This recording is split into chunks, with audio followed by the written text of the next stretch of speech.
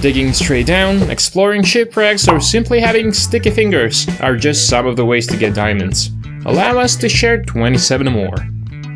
Mine shafts do half the work for you. Having to find one might be a bit difficult sometimes, but once you do, skeletons, creepers and cave spiders will be inhabiting these empty holes, so you'll have to get rid of them before you can peacefully fill your inventory with these diamonds. Elytra is not the only thing End cities hold. Even if they don't have a flying ship in them, they can still have chests filled with goodies. From enchanted diamond armor and tools to raw diamonds. Exploring these is sure to make your friends jealous at the amount of diamonds you will have. The high seas are calling to you not just to sail them, but to explore the shipwrecks below the waves.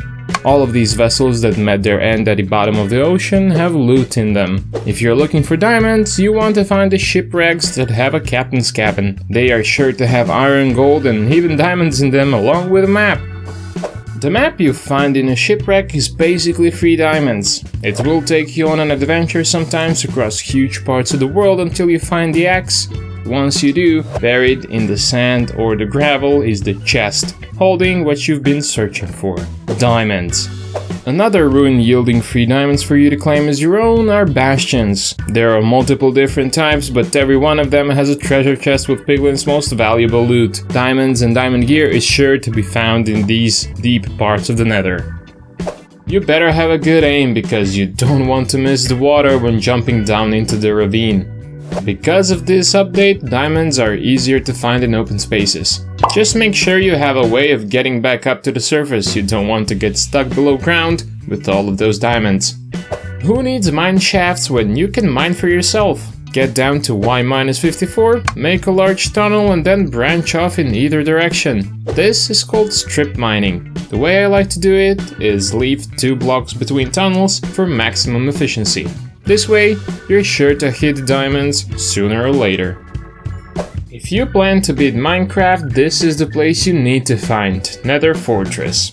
Sure, it's dangerous and sometimes super hard to find, but hallways are full of chests. And do you know what these chests hold? Yep, that's right, blue gems known as diamonds and even diamond horse armor. If you are old school, what would you say? Y11 or Y12? Comment below if you know what we mean. Recently, however, best level for mining diamonds is between Y-51 and Y-57. Whether it's strip mining or cave exploration, this is the fastest way to get rich. Just be careful of baddies and lava. If you thought strip mining was good, wait till you try this. There is an easy way to get diamonds and to save half of your pickaxe durability doing it. The only thing that you'll need is a trapdoor. Get to the spot you want to dig and enter a prone position using a trapdoor. That way, you only go through half of the blocks while still getting the benefits of strip mining. Minecraft world is loaded in chunks and we can use that to our advantage. You see, every chunk has a number of different ore blocks located within. That means that you're certain to find some diamonds within its borders.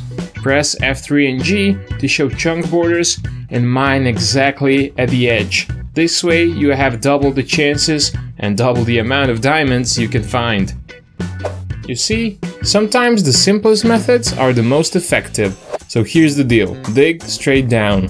Diamonds are often found in the layers just above bedrock, so keep your eyes peeled and your pickaxe ready. One unconventional yet thrilling method is to, well, steal from your friends. I mean, if you stay undetected, it won't even count as stealing, right? Just remember, the best loot is often found in the most unexpected places, and sometimes those places are your friends' chests. One way to acquire diamonds is by, shall we say, borrowing them from the village folk. Now, I'm not advocating theft, but let's just say that these villagers can afford to lose a few diamonds, right? Another exciting way to discover these precious gems is by venturing into ancient pyramids. These mysterious structures often hide secret chambers filled with diamonds, just waiting to be discovered. Just be careful because there are traps. Explore the Stronghold's libraries. There is a hidden chest where you can find these shiny gems. Zombie spawners can sometimes be your best friend in this adventure. Here's the deal. These undead creatures often hang out near a chest filled with diamonds. Now I know it sounds too good to be true, but trust me, it's a real thing. Have you ever dared to venture into a mysterious ancient city? These scary places often hold chests filled with precious diamonds. Just watch your step because there is a mysterious creature lurking beneath the ground.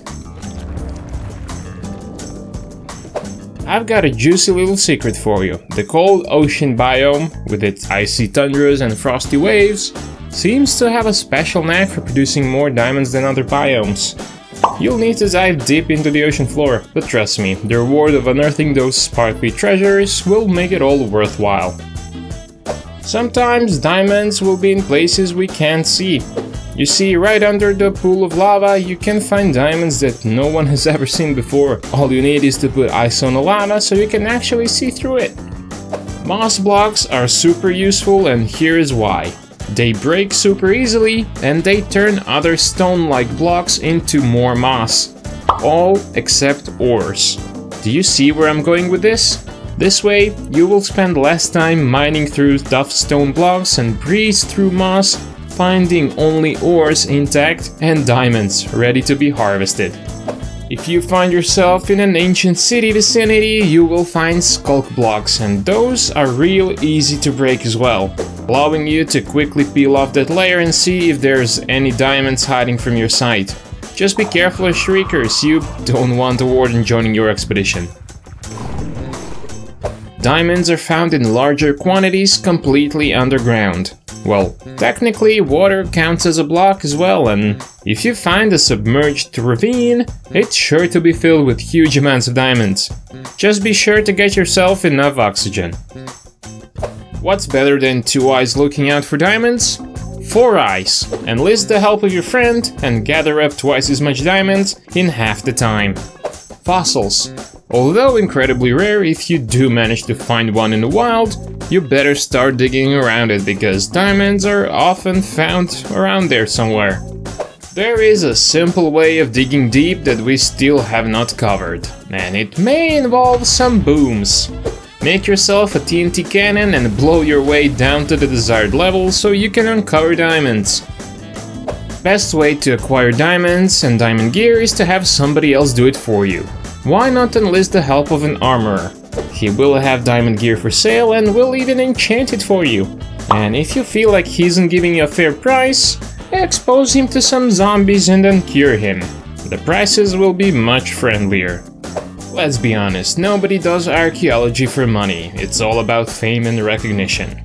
However, if you happen to stumble upon a ruin in the sand, you might want to grab yourself a brush. You see, suspicious sand has a chance of containing diamond in it as well.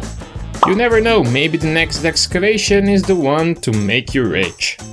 Pirates love treasure, and what is more precious than diamonds? What do you do if you've managed to scavenge every shipwreck there is, but you still want more?